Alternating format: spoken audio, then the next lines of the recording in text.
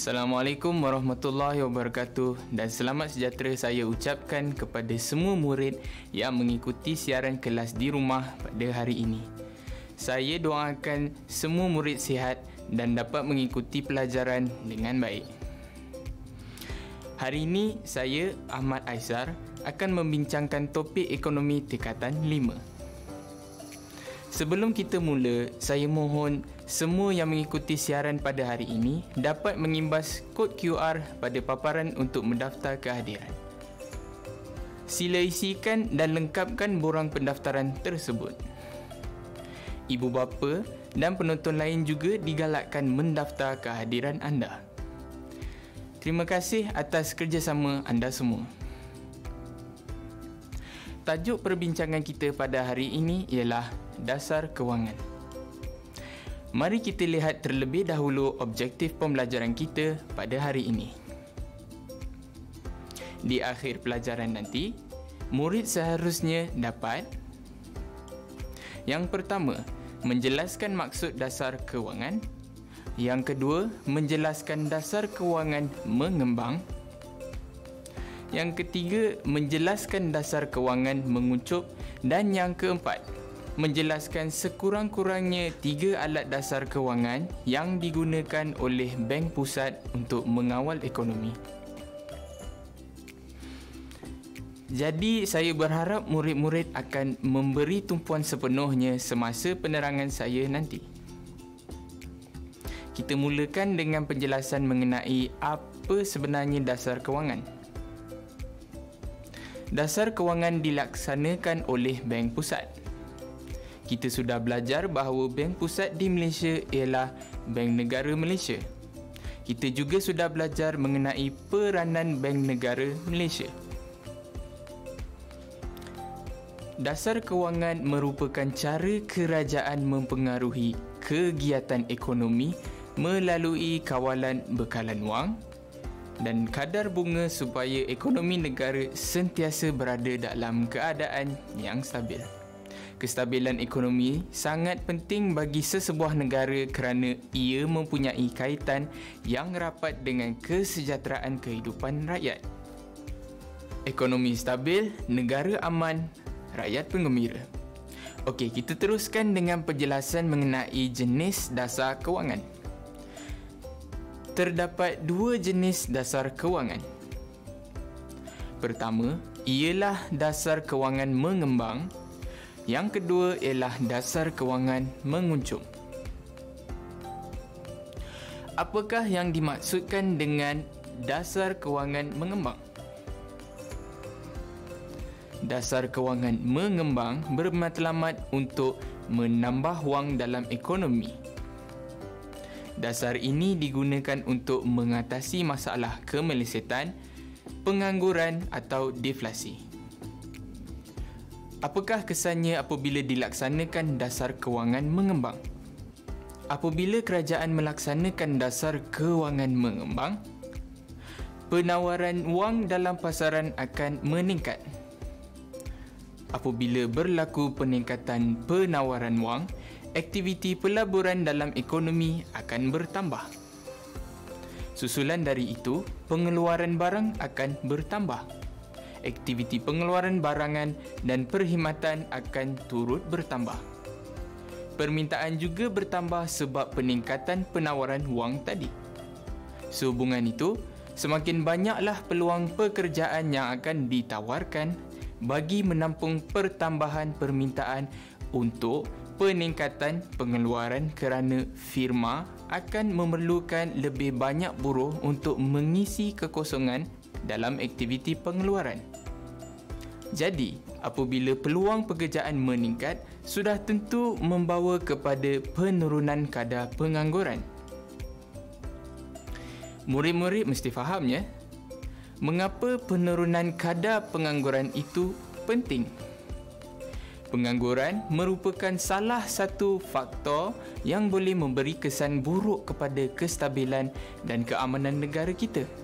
Bayangkan kalau ramai dari kalangan pemuda-pemudi yang tidak mendapat pekerjaan setelah tamat pengajian ataupun tamat sekolah. kemungkinan besar akan meningkatkan lagi masalah sosial yang ada. Ramai pula yang akan menghadapi tekanan dalam kehidupan. Sekarang mari kita lihat kesan seterusnya hasil dari dasar kewangan mengembang.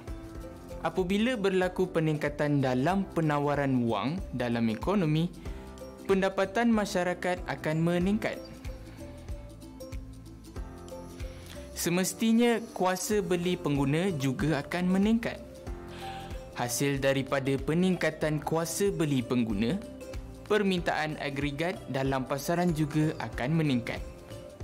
Akhirnya, kerajaan dapat memulihkan kemelesetan ekonomi. Jenis dasar kewangan yang kedua ialah dasar kewangan menguncup. Tadi kita sudah bincang mengenai dasar kewangan mengembang iaitu berlakunya penawaran wang dalam pasaran. Dasar kewangan menguncup pula bermatlamat untuk mengurangkan bekalan wang dalam ekonomi.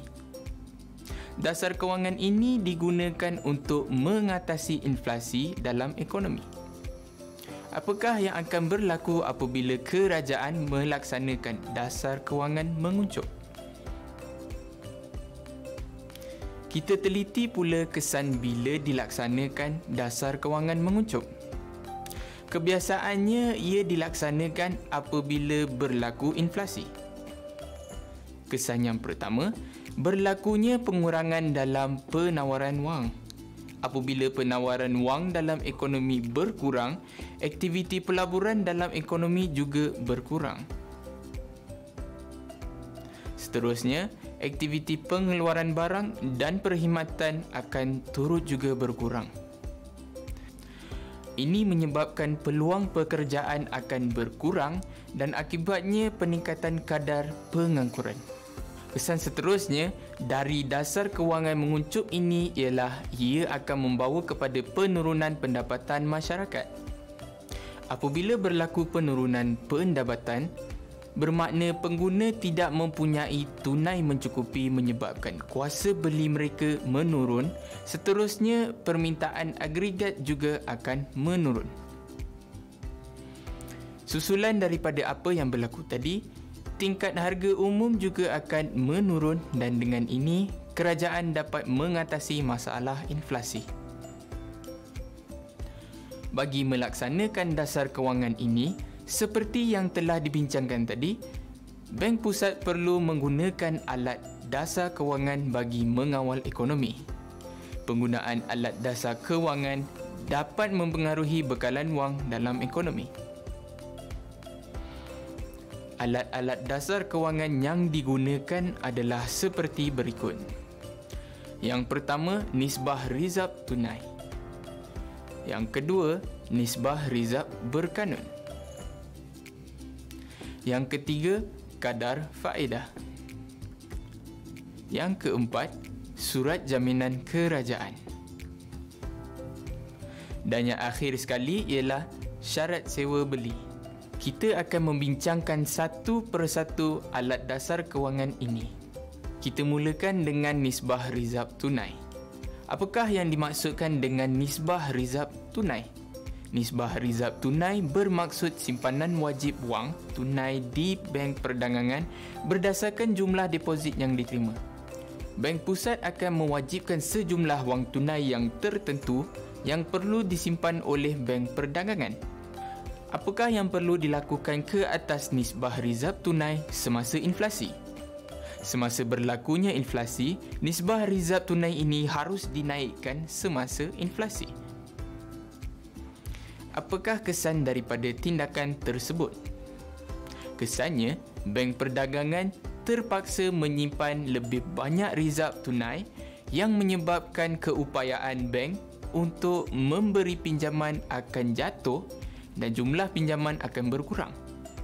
Ini akan menyebabkan penawaran wang di pasaran jatuh atau bekalan wang dalam ekonomi akan berkurang. Akibatnya, pengguna tidak dapat membuat pinjaman seperti pinjaman perniagaan, perumahan atau pinjaman peribadi untuk perkembangan ekonomi. Sudah tentu akan membawa kepada kejatuhan kuasa beli atau permintaan berkurang. Maksudnya, tidak ramai orang yang akan membeli. Akibat daripada ini juga tingkat harga barangan cenderung menurun. Hasilnya, inflasi terkawal dan ekonomi akan kembali stabil.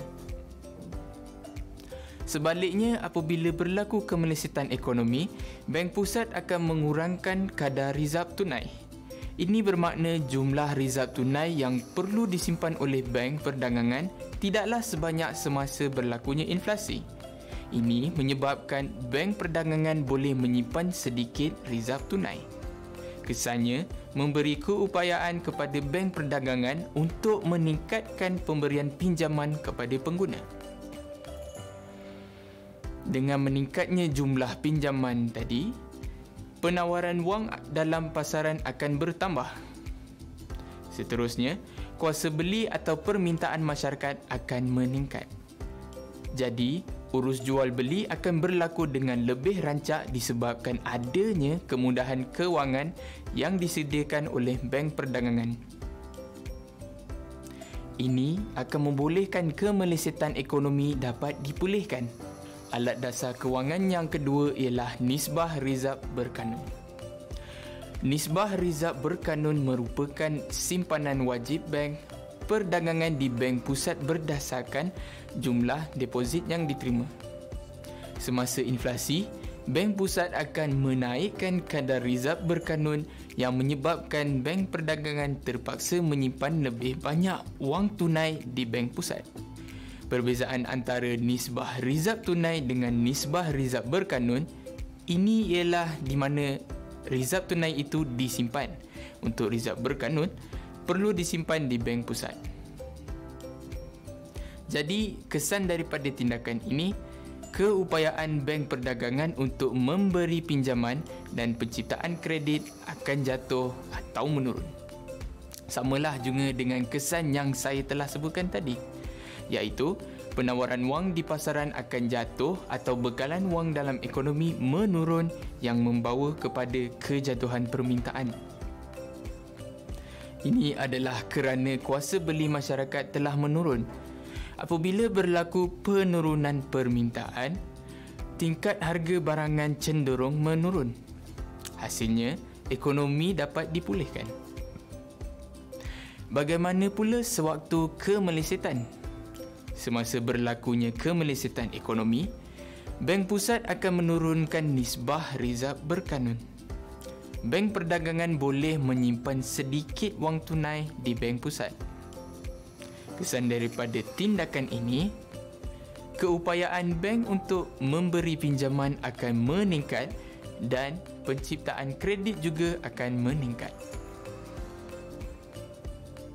Seterusnya, penawaran wang dalam ekonomi akan bertambah. Ini menyebabkan kuasa beli masyarakat meningkat sudah tentu susulan dari kesan ini, tingkat harga cenderung meningkat dan ekonomi dapat dipulihkan. Kesimpulannya, jika kita lihat alat dasar kewangan bagi nisbah rizab tunai dan berkanun, kita dapati perbezaan antara keduanya ialah di mana wang tunai disimpan sama ada di bank perdagangan atau bank pusat manakala kesan dari dasar yang dikenakan oleh Bank Pusat sewaktu berlakunya inflasi atau kemelesetan ekonomi bagi kedua-duanya alat dasar tersebut adalah sama. Murid-murid boleh faham? Alat dasar kewangan yang seterusnya ialah kadar faedah. Apakah yang dimaksudkan dengan kadar faedah? Kadar faedah merupakan kos yang ditanggung oleh peminjam semasa membuat pinjaman. Perubahan kadar faedah akan memberi kesan terhadap kos meminjam dan beban hutang peminjam. Jumlah pinjaman yang diminta oleh masyarakat akan mempengaruhi penawaran wang dalam pasaran. Semasa berlakunya inflasi, bank pusat akan menaikkan kadar faedah pinjaman apakah yang akan berlaku sekiranya kadar faedah dinaikkan? Jadi, apabila ini berlaku, kos atau beban hutang peminjam akan meningkat. Akibatnya, tidak ramai yang akan mengambil pinjaman. Oleh itu, jumlah pinjaman yang dibuat oleh masyarakat akan berkurang. Selain itu, permintaan barang juga berkurangan yang boleh menyebabkan tingkat harga barangan cenderung menurun dan seterusnya inflasi akan berjaya dikawal. Keadaan sebaliknya akan berlaku semasa kemelesetan. Semasa kemelesetan, Bank Pusat akan menurunkan kadar faedah pinjaman. Kalau kadar faedah pinjaman diturunkan, apakah yang akan berlaku? Kesan daripada tindakan ini, kos meminjam dan beban hutang meminjam menurun. Seterusnya, jumlah pinjaman yang dibuat oleh masyarakat akan bertambah. Hasilnya, bekalan wang dalam ekonomi akan bertambah. Kuasa beli masyarakat atau permintaan barang akan meningkat. Pada masa inilah, ramai yang akan membeli rumah, kereta atau lain-lain barang keperluan kemelesetan ekonomi dipulihkan dan ekonomi kembali stabil. Satu lagi alat dasar kewangan ialah surat jaminan kerajaan. Surat jaminan kerajaan merupakan surat bertulis yang dikeluarkan oleh kerajaan untuk memperoleh pinjaman daripada masyarakat atau institusi kewangan. Apa yang berlaku ialah bank pusat akan mengambil tindakan sama ada menjual atau membeli surat jaminan kerajaan. Tindakan ini akan memberi kesan kepada aliran wang tunai dalam ekonomi. Sekarang, kita lihat tindakan semasa berlakunya inflasi dan semasa berlakunya kemelesetan ekonomi. Semasa berlakunya inflasi, Bank Pusat akan menjual surat jaminan kerajaan kepada pasaran. Orang ramai atau institusi membeli surat jaminan dengan wang dalam pasaran. Jadi, apakah yang akan berlaku? Kesan daripada tindakan ini, aliran wang tunai dalam ekonomi akan berkurang keupayaan bank perdagangan untuk memberi pinjaman dan penciptaan kredit menurun. Seterusnya, kuasa beli masyarakat akan menjadi rendah, permintaan barangan berkurangan.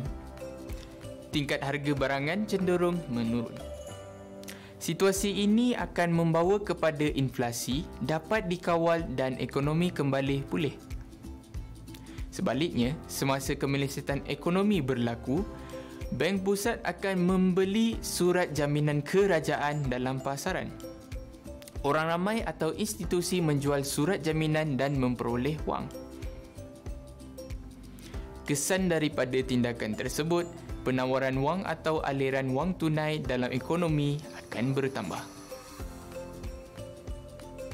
Seterusnya, bank perdagangan berkeupayaan untuk memberi pinjaman dan penciptaan kredit dapat ditingkatkan.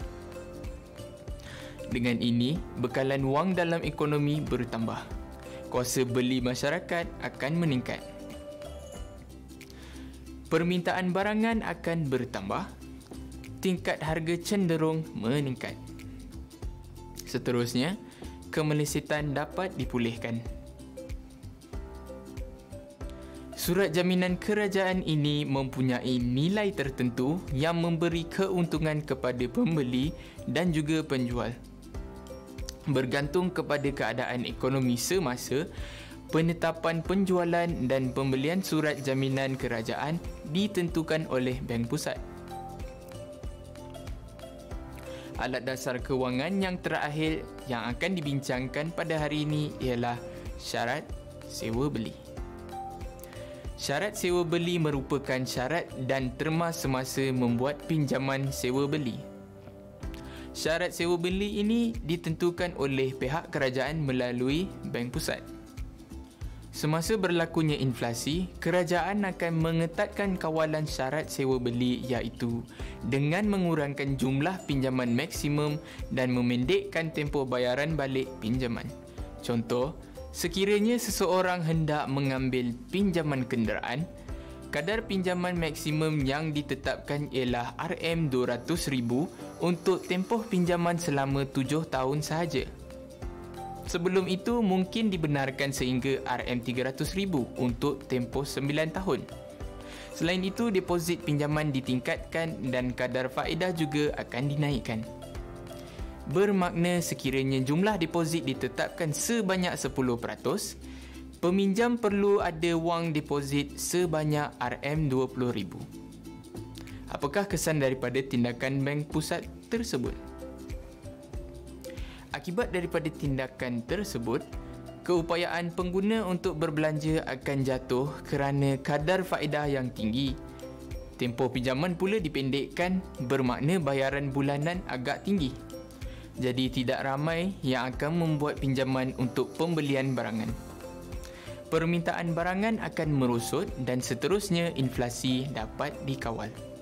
Sebaliknya, semasa berlakunya kemelesetan ekonomi, Bank Pusat akan melonggarkan kawalan syarat sewa beli dengan menaikkan jumlah pinjaman maksimum dan memanjangkan tempoh bayaran balik pinjaman.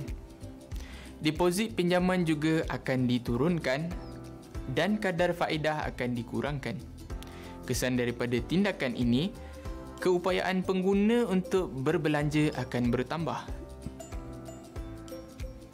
Permintaan barangan akan meningkat ini akan dapat memulihkan semula ekonomi. Nampaknya kita telah selesai membincangkan kesemua lima alat dasar kewangan yang digunakan dalam mengawal inflasi dan kemelesetan ekonomi. Sebagai kesimpulannya, apa yang telah dipelajari tadi dapat diringkaskan dalam jadual seperti di paparan. Semasa inflasi, kerajaan akan mengambil tindakan berikut. Rizab tunai, rizab berkanun, kadar faedah dinaikkan, jual surat jaminan kerajaan dan ketatkan syarat sewa beli. Manakala semasa kemelesetan, rizab tunai, rizab berkanun dan kadar faedah diturunkan, beli surat jaminan kerajaan dan longgarkan syarat sewa beli. Untuk menguji kefahaman murid-murid untuk sesi pembelajaran pada hari ini, saya telah sediakan beberapa soalan kuis. Soalan yang pertama, apakah yang dimaksudkan dengan dasar kewangan? Dasar kewangan merupakan cara kerajaan mempengaruhi kegiatan ekonomi melalui kawalan bekalan wang dan kadar bunga supaya ekonomi negara sentiasa berada dalam keadaan yang stabil. Soalan seterusnya, jelaskan tindakan yang boleh dilaksanakan oleh Bank Pusat apabila berlaku inflasi. Semasa inflasi, Bank Pusat akan menaikkan nisbah rizab berkanun, menaikkan nisbah rizab tunai, mengetatkan syarat sewa beli menjual surat jaminan atau surat kerajaan kepada pasaran dan menaikkan kadar faedah pinjaman. Soalan seterusnya. Jelaskan tindakan yang boleh diambil oleh bank pusat apabila berlaku kemelesetan ekonomi. Semasa berlaku kemelesetan ekonomi, bank pusat akan pertama menurunkan nisbah rizab berkanun, kedua, menurunkan nisbah rizab tunai, ketiga, melonggarkan syarat sewa beli, keempat, membeli surat jaminan atau surat kerajaan dalam pasaran dan kelima, menurunkan kadar faedah pinjaman. Mudahkan pembelajaran kita pada hari ini. Saya ada satu lagi soalan penting kepada murid-murid apakah kesan terhadap ekonomi negara kita apabila berlakunya pandemik COVID-19. Kerajaan terpaksa mengambil tindakan yang drastik bagi mengawal penularan penyakit tersebut. Selama tiga bulan kita tidak dibenarkan keluar rumah kecuali untuk hal-hal yang penting sahaja.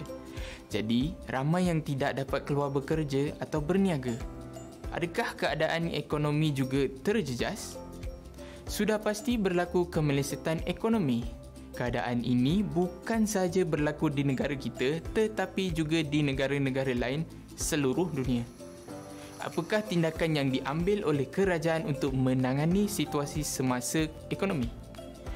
Ingat lagi apa yang telah kita pelajari tadi? Kerajaan perlu menambah aliran wang tunai dalam pasaran. Oleh itu, kerajaan telah memperkenalkan pakej-pakej ransangan ekonomi seperti pakej prihatin dan prihatin PKS. Kesan daripada pakej ini, sektor pekerjaan kembali beroperasi dengan rancak dan meningkatkan peluang pekerjaan kepada rakyat. Seterusnya, mengurangkan beban aliran tunai rakyat. Kerajaan juga telah memperkenalkan pakej penjana iaitu pelanjana semula ekonomi negara. Pakej ini mempunyai tiga teras utama iaitu memperkasakan rakyat, melonjakkan perniagaan dan merangsang ekonomi. Pakej-pakej ekonomi ini adalah tambahan kepada apa yang telah kita pelajari mengenai usaha kerajaan untuk menstabilkan ekonomi negara selain dari alat dasar kewangan yang disebutkan dalam pembelajaran kali ini. Sekian saja sesi pembelajaran kita pada hari ini. Syabas dan tahniah murid-murid satu tepukan cemerlang untuk anda. Saya harap agar murid-murid dapat menguasai objektif pembelajaran kita pada hari ini. Akhir kata, selamat maju jaya, jangan putus asa. Saya doakan semoga semua murid menjadi murid yang cemerlang. Terima kasih dan Assalamualaikum.